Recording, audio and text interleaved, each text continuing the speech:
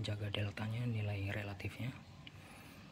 Oke selanjutnya saya akan mengetes dengan ini charger ini.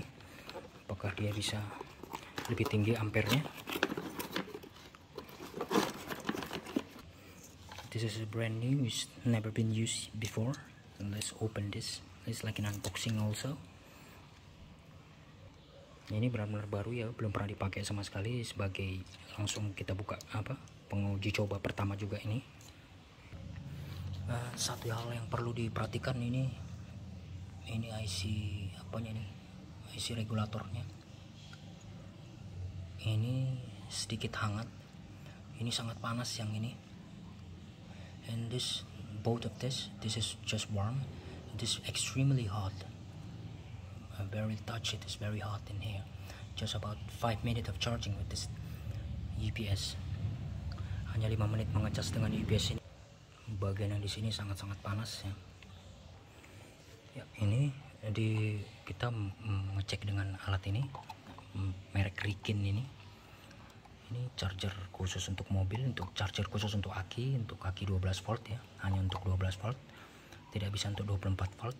Kalau mengecas 24 volt kita harus uh, 24 volt itu kan aki 2 biji yang digabung menjadi 24 volt ya. jadi kita harus mengecas satu satu demi satu akinya macam aki truk gitu. Itu aki bus itu kan mereka pakai 24 volt jadi ngecasnya satu-satu ya. Jadi untuk aki untuk charger ini kita harus menghubungkan dulu positif dan negatifnya sebelum menghubungkan listriknya ya. Jadi harus ini dulu konektornya ke, ke akinya dulu dikoneksikan ya so in this particular product this charger is special for 12 volt battery only 12 volt car, car battery only. It's gonna charge 24 volt. Like a truck or bus so we must charging it separately one by one. Jadi for these chargers for this weekend chargers you must connect this uh, connectors first battery first before you plug this cord so when we plug it this is pretty smart charger so we can see the voltage. Voltage of this battery is now is 7 point so we can see the 7.6 volt and see there's battery blinking. This means full uh, very low voltage. The temperature is 32 degrees celsius 7.6 so it's circulating 31 degrees celsius the temperature of this, this devices.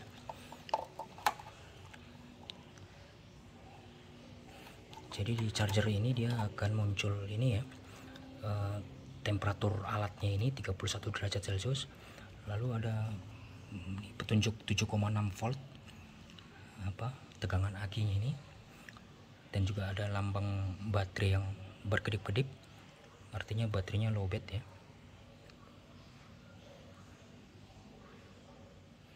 lambang baterai habis. Coba kita pastikan dengan multitester ini berapa tegangannya kita koneksikan setting ke volt DC oke. Coba dicolok. Dan tegangannya adalah dan kalau saya tes tegangan aki ini ini 7 volt sekarang 7 volt 7,03 anggap ini 7,0 7,60 volt. Nah kalau ini alat ini ini kita bisa mengkoneksikannya. Dan ini dia membaca 7,7 volt ya. 7,8 volt. Jadi ada selisih. Ini 7,8 volt. Lebih tinggi 0,8 volt ya dan lebih tinggi ini lebih tinggi ini 0,8 volt. Saya ini saya percaya ini ini cukup akurat ya. Ini saya jauh lebih akurat dibanding ini. Saya percaya keakuratannya. I trust this accuracy because I've tested with another multimeter and this thing is very pretty accurate the DC voltage but not the AC because it's not true RMS yet. Ini cukup akurat ya. Saya sudah coba dengan multitester lain. Dan harus DC memang rata-rata multitester itu akurat. Karena dia pakai power sendiri di dalamnya. Bukannya ini dia membutuhkan power dari aki Oke, in- um, tentu saja bukan AC-nya, listrik AC-nya ini belum belum akurat karena dia belum true RMS. Jadi charger ini walaupun belum dicolok ke listrik, dia bisa membaca tegangan ini tegangan aki. Dia bisa membaca walaupun lebih tinggi 0,8 volt ya dari tegangan aslinya. Tapi dia bisa sebagai multitester juga. Walaupun hasil pengukurannya agak ketinggian 0,8 volt. So we can use this as multimeter this chargers. We plug it this to this battery we don't plug the electricity yet. Even this is still to over 0.8 voltage. So jadi jadi kita harus mem- memutuskan memutuskan koneksi ini ya listriknya saat baterai sudah penuh. Karena kalau baterainya sudah penuh kita copot saja ininya. Dia ini masih memakan listrik ya untuk menghidupkan layarnya dan menghidupkan multitesternya jadi harus kita copot ini supaya akinya tidak menarik daya lagi dia dari aki ini. Ini kan terhubung ke aki supaya dia tidak menarik daya lagi dari aki. Jadi ini harus kita kita copot ya saya sudah mencopot ini biar tidak self discharge self discharge so after we finish charging we unplug this. We must unplug this also. We must disconnect to this battery port. Battery cord because this device is still consuming power for this multimeter for this display. So display is emitting light so it's consuming energy consuming your battery. It's self discharge to this thing. Jadi kita harus mengkoneksikan ini dulu kita harus meng- mengkoneksikan konektor baterainya dulu sebelum memasukkan listriknya ya.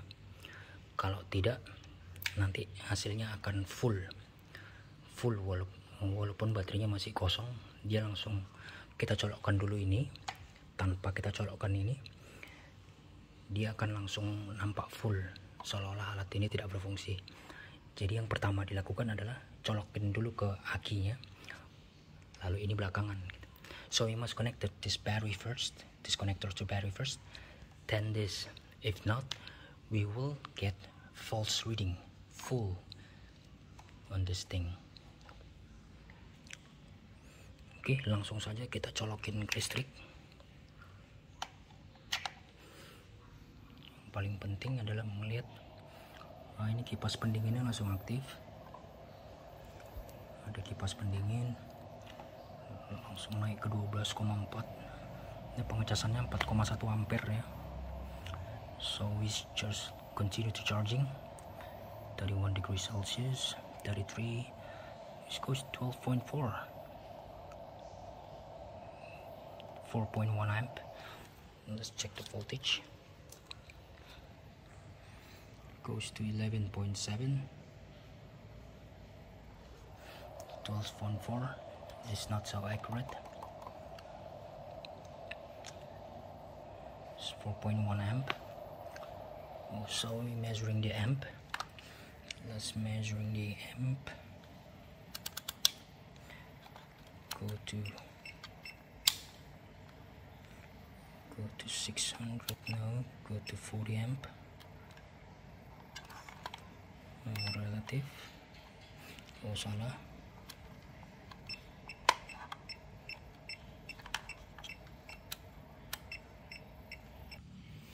okay so we need the measuring amp. And the last time I I still plug this uh, negative cord to this thing and causing overload to this thing to this clamp meter. So we must unplug this port not connecting to anything. We'll be measuring uh, current with this clamp meter this clamp thing this clamp. Jadi saat kita mau mengetes apa ampere dengan sistem klampnya ini kita harus melepaskan cordnya ini dari konektor apa pun itu. Konektornya ini harus tidak terkoneksi ke mana-mana ya saat menggunakan clamp meternya ini. Kalau tidak dia akan mempengaruhi hasil dari ini mempengaruhi penghasil pembacaannya ini.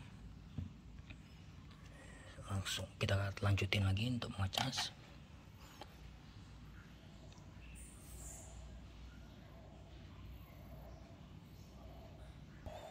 ya saya lanjutkan lagi pengecasan.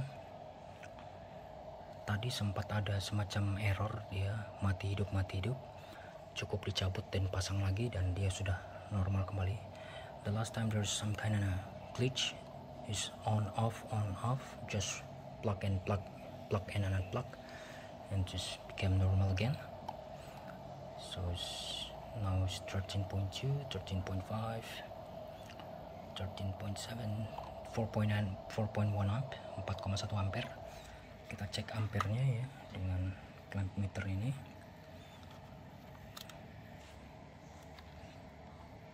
Hmm, relatif. Oke delta 4 ampere kutip negatif. Kita ambil yang flux positifnya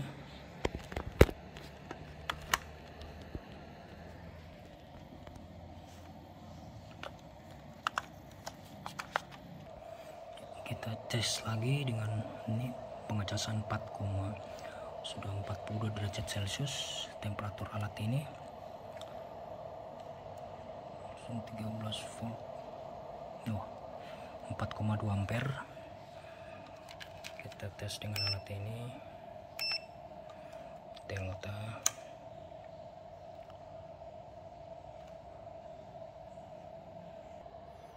oke ini saya uh, kalau cordnya ini colokannya ini apa tom kabelnya terpasang ini hasil pengukurannya kadang-kadang sering apa ya meleset ya berubah-ubah.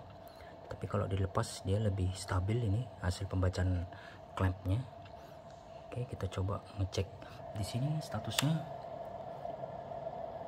Ini 13,5 volt 3,9 ampere ya. Kita ngelihat ini.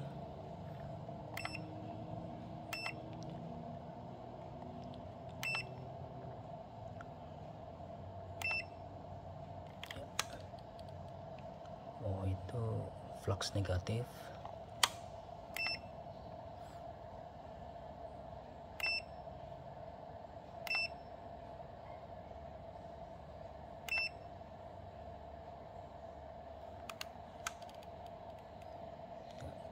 tiga koma tujuh.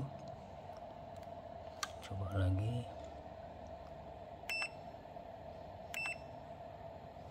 Delta. tiga koma empat. tiga koma enam.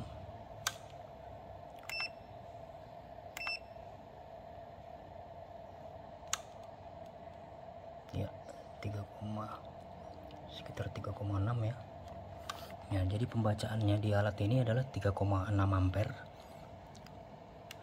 Pembacaan dari clamp tang ampere ini. Kalau pembacaan di sini adalah 3,9 ampere ya. So if this reading is about 3.6 amp about here is 3.9 amp. So yeah would say deviation about 0.2 amp.